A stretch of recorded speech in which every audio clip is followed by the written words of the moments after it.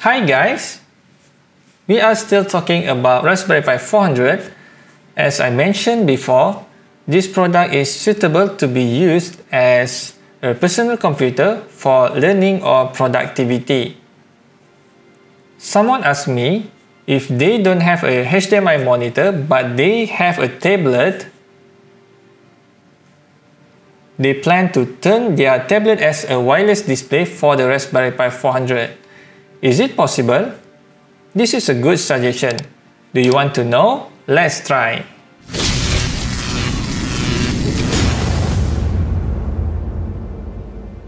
I will continue from the previous tutorial. Please make sure your Raspberry Pi have Wi-Fi connection. Then you can check the IP address through terminal. Write ifconfig. This is my IP address for Raspberry Pi 400 This IP address will be used at tablet app later. Then we need to enable VNC on Raspberry Pi.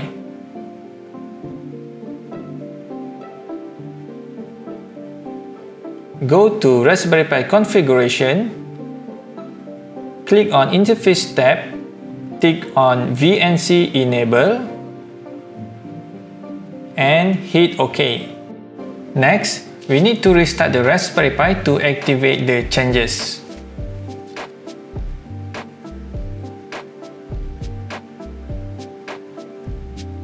For tablet, I'm using iPad mini. You can use any tablet that runs Android too. Please make sure it is connected to the same Wi-Fi as Raspberry Pi. Open App Store or Play Store and search for VNC app.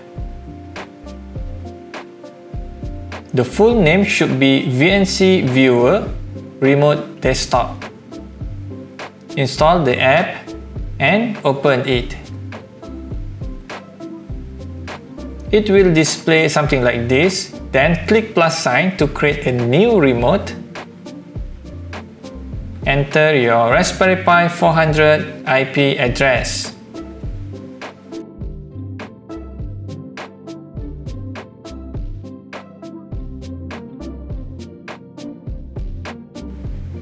save and connect. Now insert a username Pi and password Raspberry. Click continue. Now you can see the Raspberry Pi desktop on screen tablet. In other words, my iPad is successfully remote the Raspberry Pi 400 through VNC app. For now, we will focus on making the tablet as a display only. So you should be able to see the mouse cursor to move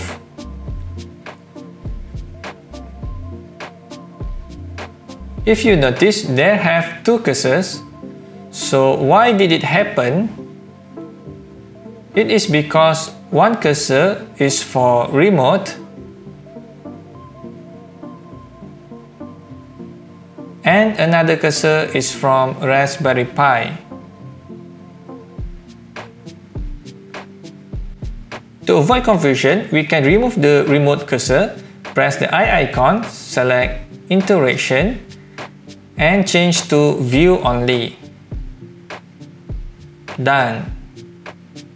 Now, only one cursor which is from Raspberry Pi 400 can be controlled.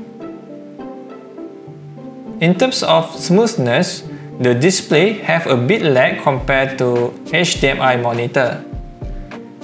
If you want to connect any USB device, for example, you want to program a microcontroller, you need to connect to Raspberry Pi 400. Do not mistakenly connect to the tablet anyway.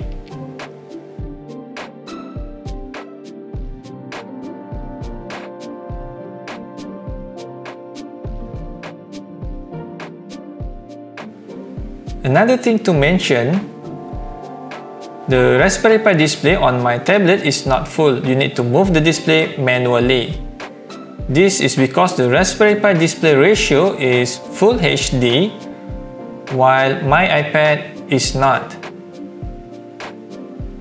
Luckily, it is not crop the display, but you need to move it from your tablet. So that's all for today. Please be reminded this tutorial is prepared for you to try and learn. I'm Idris from Cytron Technologies. Good luck and thank you for watching.